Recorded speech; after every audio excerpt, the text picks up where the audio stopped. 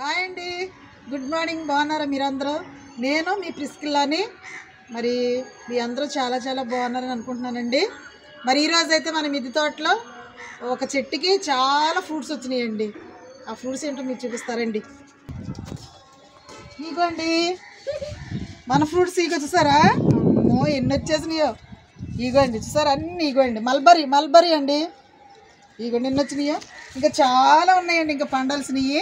ఇగోండి ఇవన్నీ ఇవే పండిపోయి చాలా ఫ్రూట్స్ ఇగోండి. ఇవన్నీ ఇవే. ఇగో అమ్మో ఎన్ని చాలా చాలా హ్యాపీ అండి.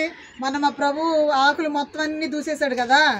అయితే మళ్ళీ వచ్చేసింది చూడండి ఇది ఒక ఫ్రూట్ ఎంత ఉందో. ఇదిగో చాలా పెద్దగా ఉంది. ఇదిగో చూసారా ఇగోండి ఇదిగోండి ఇదిగో చాలా స్వీట్గా ఉన్నాయండి. మల్బరీ ఫ్రూట్స్ అయితే ఇగోండి.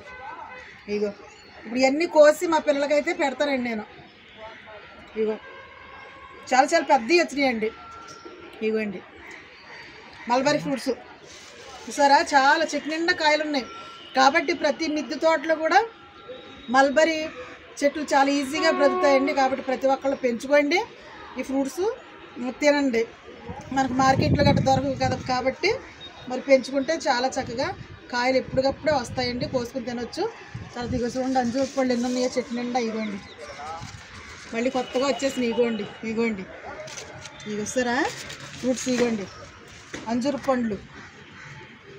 ఇగో జామ పండ్లు కూడా ఇప్పుడు మళ్ళీ కొత్తగా వచ్చేసినాయండి ఇగోండి. ఇగో జామ పళ్ళు ఇవి చెట్టు నిండా ఇయ్యనండి కాయలే ఇగో.